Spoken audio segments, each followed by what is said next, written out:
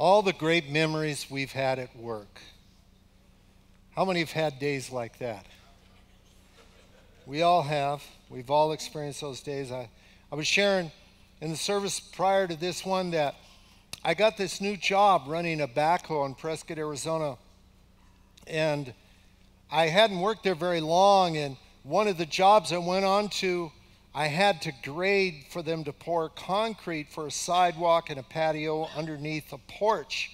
And so as I'm bringing this, you know, grade out, I'm not paying attention to the top of the backhoe, and the top of the backhoe, boom, pokes a hole through the porch roof. Brand new house, nobody's ever moved there yet po- pokes a hole through the roof. And then after they poke a hole through the roof, I get so upset, I hit the controls and I go like this, and it swings the boom out and rips the roof off. So it was just a hole, then it became a whole catastrophe. But anyway, we have days like that. And we're going to talk about building relationships at work. At work. Because work, we spend a lot of time there. And this is something you have to build. This is something you have to do. We can complain about where we work. We can we will never find the right place to work as long as we have the wrong attitude. So we have to get an attitude that I'm going to enjoy my job, that I'm going to be happy on my job, that I'm not going to complain about my job. Now that's easy to say, but I'm going to tell you you spend a third of your life at work. And I want you to stop and think about the people you have heard say things like, you ask them, How's your day going? And they'll look at their watch and say, Well, I'll let you know in three hours when I get off work. And my thought about when somebody says that, you mean to tell me that you are miserable a third of your life? We should love what we do. We should love the job we do. We should love the work we do. If you quite haven't found that occupation, then you need to discover what it is and get in the right place. But regardless, if you have the perfect job, I guarantee you there is no perfect people working with you. And you will run into people in your workplace that irritate you, that try to hurt you, that lie about you, that do all, because that is just what humanity is. Humanity has that as a part of the way it is. 90,000 hours we're going to spend at work. So let's have 90,000 hours of laughter and fun. And now I want to back up a little bit about some of those videos. I want you to think about the guy with the paint. I, I don't know what happened there, but they got a truckload of looks like yellow line marking paint, and this guy has got it inside his cab all over him. Then you got the guy at the car wash. And, you know, at first I thought this guy is actually wanting to do this. It's like he is, but no, he's the guy, you know, when you first pull into the car wash that directs you and then he sprays the front of your hose. He gets that hose cut up in one of those twirling things. It sucks him in there and wraps him up.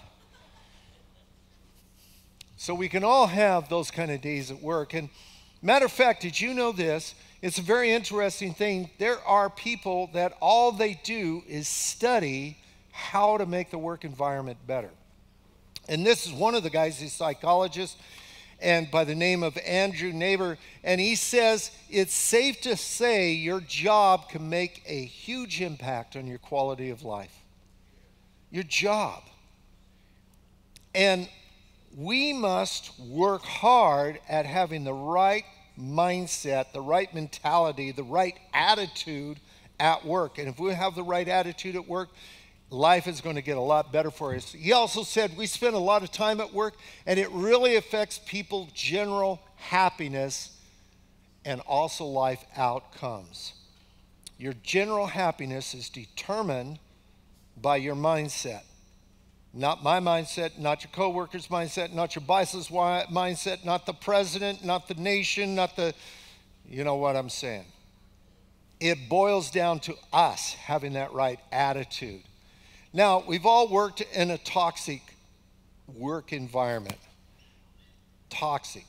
Where there's somebody there at work that is just toxic and they're ugly, they're angry, they're mad, they're unhappy people, and their occupation is going around make, trying to make everybody else miserable in life. But we got to decide we're not going to let those people determine our joy and our happiness. No, we're not going to let them rob us of our happiness. And so it is a decision that you and I must make that we're going to be happy at work. And until you make that decision, you will be like the Bible says, tossed to and fro by everything that comes your way. Every time something doesn't go your way, you're going to feel miserable, and nothing will ever be perfect. I really believe that work is meant to be a blessing, and that work can be a blessing, but if it's meant to be a blessing, then why, I ask the question, does it feel like a curse? Because work really is a curse or can be a curse. God invented work, He gave it to Adam and Eve, and He says, Go in the garden and till the garden, take care, tend to the garden. And He gave them a job, but then they sinned. And when they sinned, we read in Genesis chapter 2 how that work became a curse at that point. Then God said unto the man, I command you not to eat from the tree, but you listened to your wife and ate from it. Guys, this is where it says in the Bible you shouldn't listen to your wife. No, ladies, I'm just kidding. Don't get upset. No rioting here. This was a joke. It's only meant in humor. A matter of fact, if you go on and read here, he says, But you listened to your wife and ate from it, so I will curse the ground because of you, not Eve, because of Adam. So, anyway, the buck stops with us guys. And he goes on to say, You will have to work hard all your life for the food the ground produces. Then let's drop down to verse 19. It says, You will work hard for your food until your face is covered with sweat, especially here in Arizona in the summer. You will work hard until the day you die. You know something?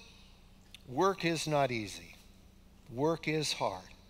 But work can be some of the best time of our lives. And it's all about our mindset. You know, you ever work with that just really sour person, that really foul person that just brings a lot of ne- negativity to your work? Your mission as a Christian is to show them love, show them grace, show them mercy, and pray them out of there.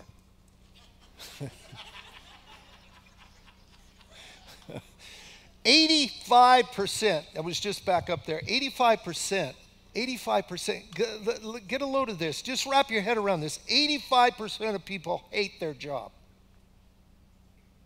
Now that's globally, but in the United States, 70% or 7 out of 10 people hate their job. And a lot of times, the reason we hate our job is simply because we've got the wrong frame of mind. And so we need to change that. We need to get a different frame of mind. So, in the beginning, we know that God gave Adam work and it was meant to be a blessing. And I believe, even though because of Adam's sin and Eve's sin, that it became a curse, that through Jesus Christ coming into our hearts, changing us, we now can turn our work into a tremendous blessing. We can come to the place where we love to go to work, where we're not, we're not, it's, it's like, have you ever seen the person and he says, How your day going? And they says, Man, I don't know. It's just, seems like the day has flown by. And the reason is because they're enjoying what they do. And so we got to get that mindset that we're going to enjoy life. And it is a mindset. Now, I want to look at something here that researchers found that really is powerful. This is at the Nova Medical Center. And several things as they begin to discover about your attitude or individuals' attitude concerning their job, concerning their work. It says several things. One thing they discovered is that the more positive you are, the less stress you live with in your life. Stress, we know, is a killer. We know it affects us, we know it makes us unhealthy. And so, if you are constantly getting a negative diet from your work, you will be stressed out. They went on to say researchers have concluded that being optimistic can lead to an increased lifespan.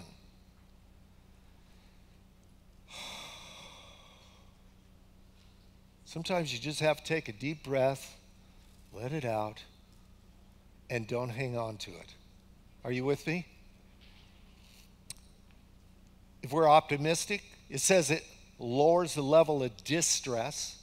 We have a better psychological and physical well being. We, in other words, we mentally, emotionally, and physically feel better about ourselves simply because we have chosen to be positive about work.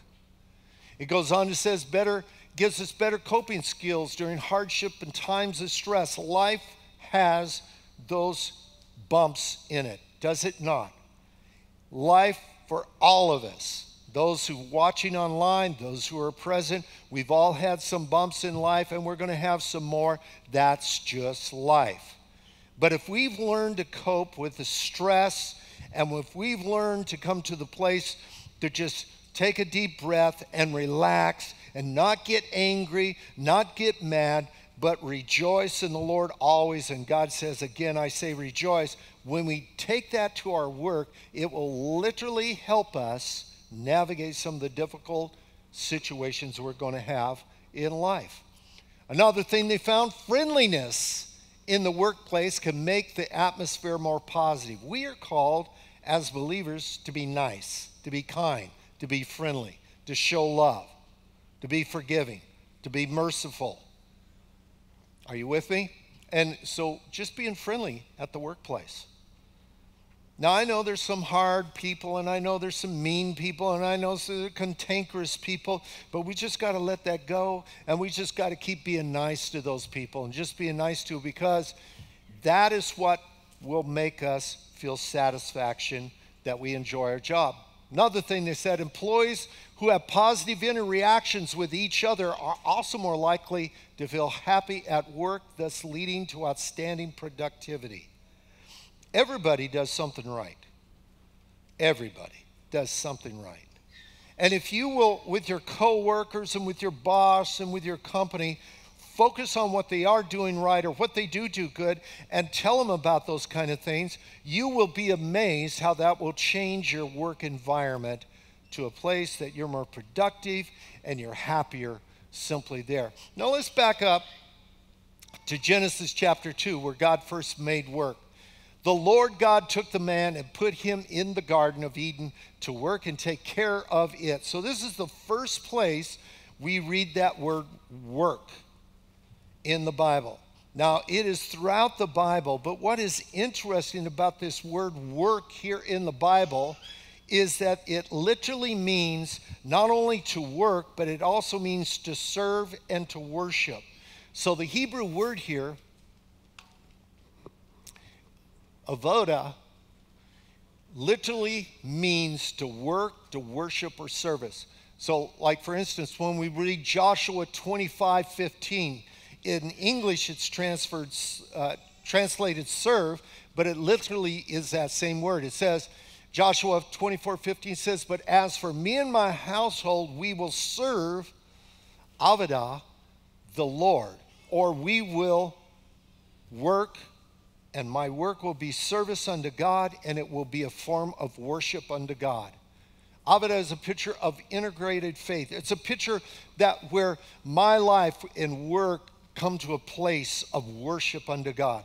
We, we all know this scripture, and in um, Colossians it says, Whatever you do, work is un- with all your heart, working unto the Lord and not unto human masters. So we got to get this mindset as Christians, as believers in Christ, our job, whatever it is, whatever your work is, and we all have work, could be school, it could be taking care of your home, taking care of children. It could be working a particular job. We all have work every day. We need to do this as a form of worship unto God, and in doing so, we honor God. Amen. And it goes on to say, since you know that you will receive an inheritance from the Lord as a reward, it is the Lord Christ you are serving. Again, we have that word work. When I work, I'm serving God and I'm worshiping God. And so I need to have this attitude that it's not their work, it's something I'm doing to glorify God. The other day I was sitting in this place and I just ordered myself some food and I sat down at this table there and I noticed somebody had missed the garbage can and they had some trash on the floor and I looked at it and I thought, hmm, they missed the garbage can. And then all of a sudden the Holy Spirit spoke to me and says, go pick it up and put it in the garbage. Now, it wasn't my garbage, it wasn't my mess, but it was an attitude that I decided that, you know what, I'm going to do something about this because it's as unto the Lord. Now, how many have ever heard of a slack hand? What's a slack hand? A slack hand is that guy who doesn't really help or girl. Now, the other day, my grandkids were moving into an apartment on the third floor. Now, I want to caution you don't take the third floor unless you have no other option. Because you got to carry furniture up and you got to carry furniture down. And so we're carrying this heavy furniture up there, and I'm thinking, oh my gosh, up the stairs and around the corner and so forth and so on. So a slack hand is kind of like here's a bunch of guys moving a really heavy couch or a dining room table and they're taking it up to the floor and they're all going. And one guy he's grunting and and acting like he's working but he's actually a slack hand. He's not lifting anything. That's what the bible's referring to as a slack hand. So whenever we have a slack hand at work anybody work with a slack hand somebody you work with who really doesn't pull their weight, who really doesn't do their work, who, you know, so forth and so on. Don't dwell on that. Dwell upon the opportunity that I have to step in there and pick up the slack. God wants you and I to pick up the slack. Galatians 6 2 says, Carry each other's burdens, and in this way you will fulfill the law of Christ. That word law is literally talking about the scriptures. I will fulfill the scriptures when I step in and help other people with their burdens. If I'll at work have this attitude, well, it's not necessarily your work or my work, but I'm here. I'm blessed to have this job. I'm not doing anything right now, so I'm going to just go over here and help this person out. You'll be surprised how that will create friendship and help people to begin to like you and change your whole work atmosphere. You know, Moses prayed to God, and, and we read about this prayer in Psalms 90. This is a prayer that Moses is praying to the Father. He's praying to God, and it, in this particular prayer, he's praying about work. So this whole chapter is about work. And I want to read verse 17, and then we'll back up and read, begin at verse 10.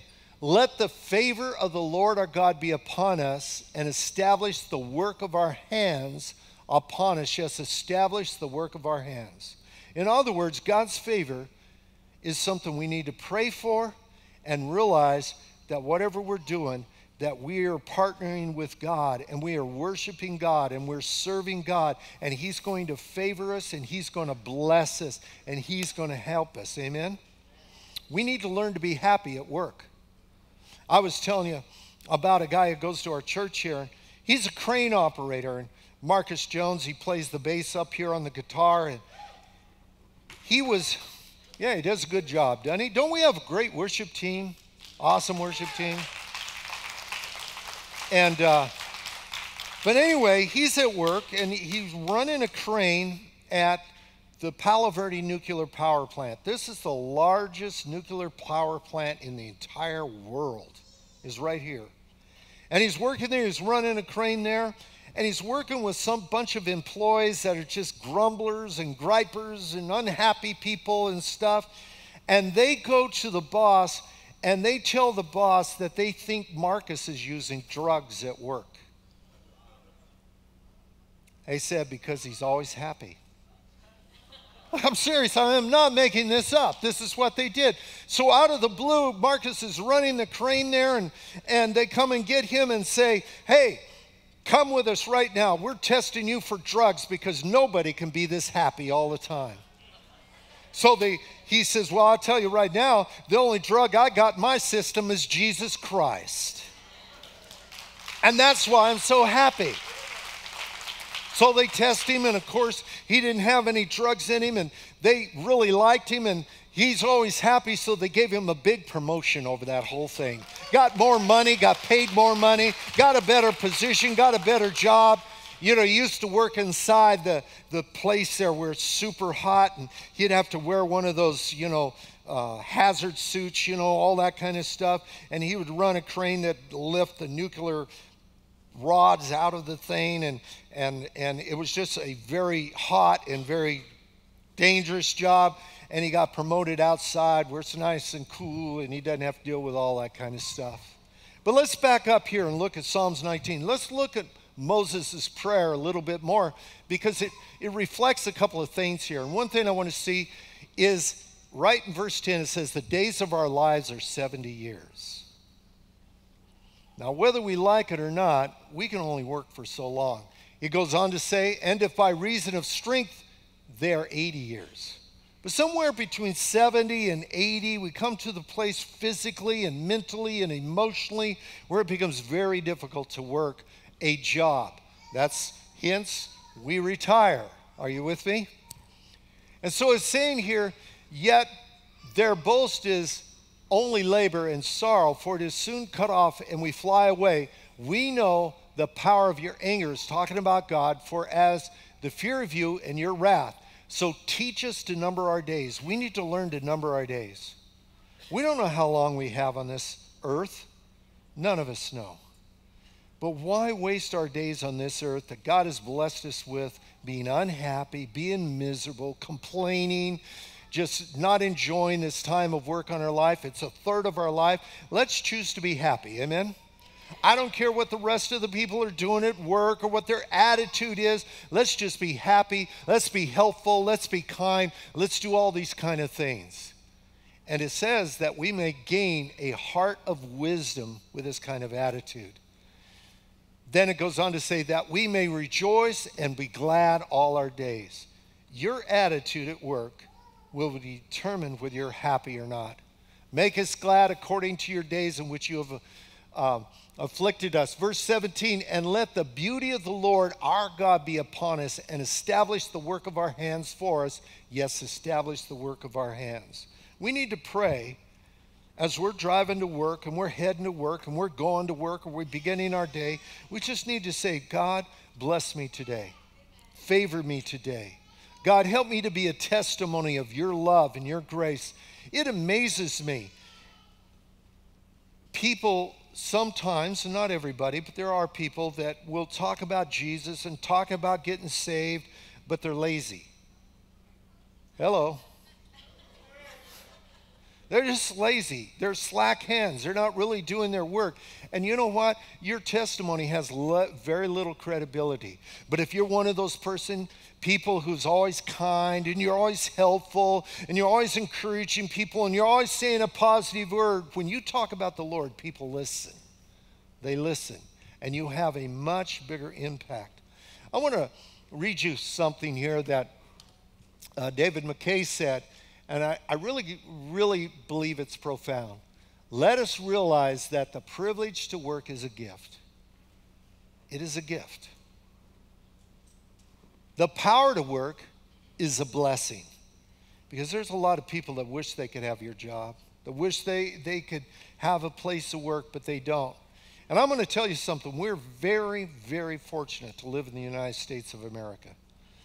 I've had the privilege of traveling all over the world. I've had the privilege of living many years in a third world country, and I've seen the poverty, I've seen the suffering, I've seen people that are so desperate for a job, they just wish they would have something to do. But we're blessed here in the United States of America, and we need to understand that. But the last thing it says here the love of work is success. Now, when you look at somebody's beautiful home or you look at somebody's beautiful truck, I mean, guys, I want you to stop and think about that, you know, three quarter ton Silverado Chevy or Ford um, King Ranch or whatever the case, whatever you want, four wheel drive, big diesel engine, you know, gets six miles to the gallon. And, uh, you know, it's big, but but you don't care because you you are blessed. You got plenty of money. You can afford the the diesel and all that kind of stuff. You know what? You can be one of those people too. And it begins though with your attitude about your job, your attitude about your work. So many bosses want to promote people and they want to raise people up, but they can't find people that are really worth doing that because they have a bad attitude about their job. See, success is so linked in life the kind of home you're going to live in, the kind of vacations you can take, the kind of vehicle you drive, the kind of clothes you wear are so often not linked to your particular job, but linked to your attitude at that job. Your promotion, getting that advancement, getting that training, and, and raising you up is all dependent upon your attitude. The other day, my grandson Joseph, he got a job, a new job, and it's a brand new job, and and uh, so he makes a little bit more money there, and and uh, I think um, he makes about seventeen dollars an hour. That's his starting pay, and so he's excited about this. You know, he's a young guy. He's he's he's just 20 years old. He's very young. He's a young man. He's, he's, he's beginning to grow and things like this, and he's, he's learning a career. And so he's just got a good attitude about this job. He's so happy about this job. He's so excited about this job. And it's a big company, and they have their own cafeteria and all that. And he was in the cafeteria getting lunch, and there was a guy right behind him getting lunch. And he just turns to the guy and says, Do you mind if I sit with you? And he just sat down with the guy and has a good attitude. He says, Oh, I love my job job. I'm so glad to be working here, on and on and on. And then he turns to the guy and says, Oh, tell me about your job. What do you do here? And the guy says, Well, my job is a very important job. He says, I'm the vice president of the company. Woo! Now you're talking.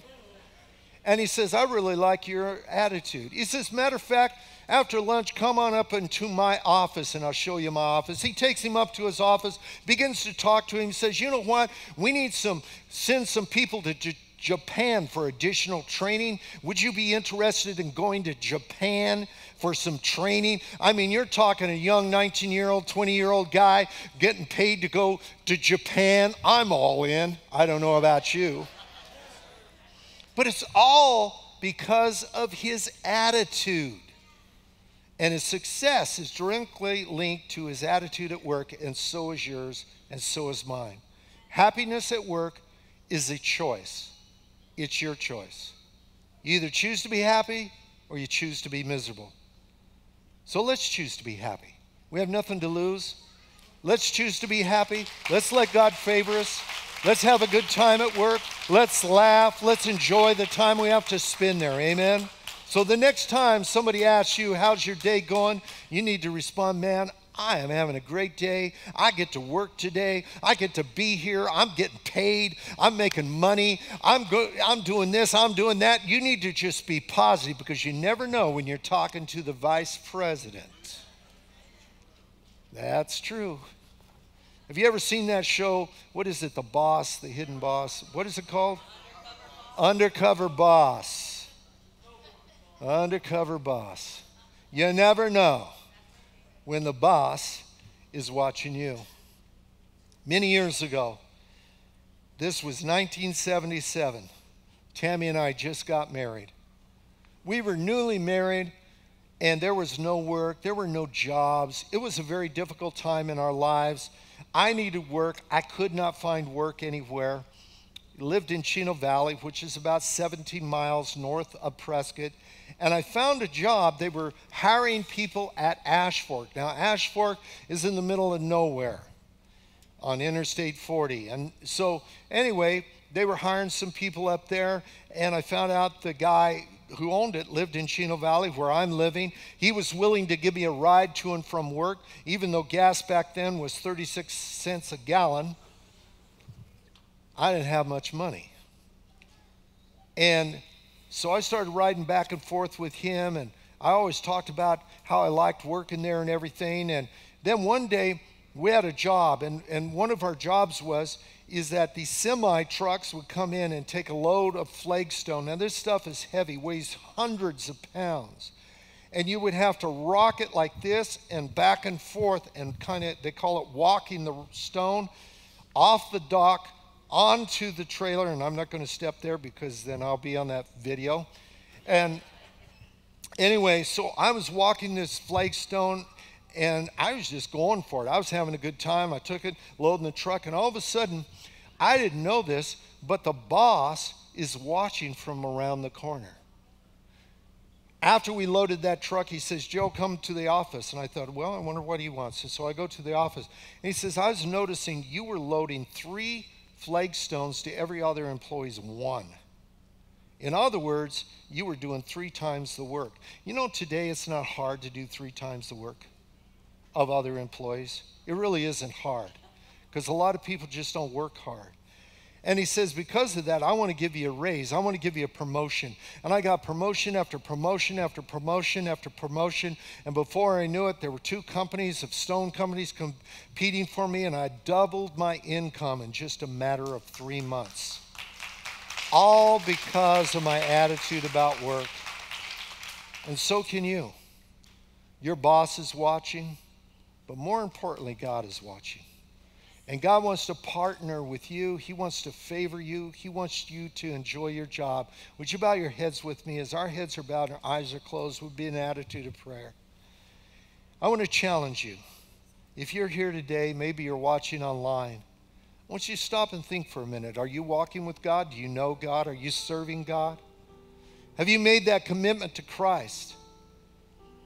I had a guy come up to me after the last service he says, Pastor Joe, I finally found Jesus Christ. I finally accepted Christ into my life. And I said, You did? And his wife comes up, Yeah. I tried to tell him about the Lord. I tried to explain about God but he never quite got it. He would come to church, but one day he said, I was just laying in bed. I was thinking about God. I was looking up at the ceiling of my roof. He says, and all of a sudden it came, and all of a sudden I understood it. And all of a sudden I invited Christ into my heart and I accepted him. He says, I've never been so happy ever since that moment.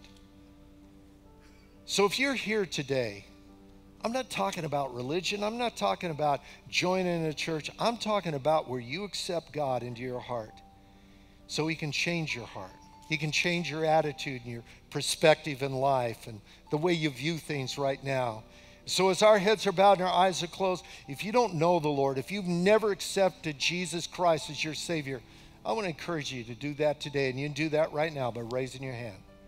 Raise it up to God and say, God, I want to receive Christ. Yes, I see that hand and that hand and that hand and that hand and that hand, that hand and that hand that hand there and there and there. I see that hand and that hand and that hand. Over here, I see those hands. Hands are going up everywhere. If you're watching online, I want you to raise your hand up right where you're at. If God's speaking to you, because God will see your hand, you can put them down. God sees you. And I'm going to lead you in a prayer, and I just ask you to pray this prayer with me. And let's pray it together. Say these words Say, Heavenly Father, I invite Jesus Christ to come into my life and become my God, my Lord. And from this day forward, I ask for your forgiveness for the mistakes I've made with my life, the sins I've committed, and fill me with your Holy Spirit. Change my perspective about life, about work, that I might have the same mind that is in Christ Jesus in me. Holy Spirit, change my life and fill me with your presence. I pray this in Jesus' name. Amen. Now give the Lord a clap offering. Let's thank God for that.